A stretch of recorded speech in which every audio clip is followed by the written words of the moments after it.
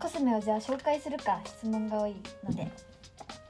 私はパウダーはこれベビーパウダーもうこれしかパウダーは使わないです。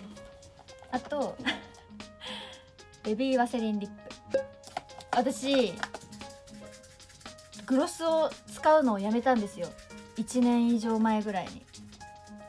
そう。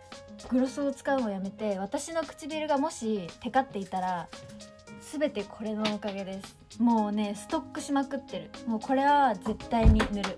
もうこれ。もうこれ。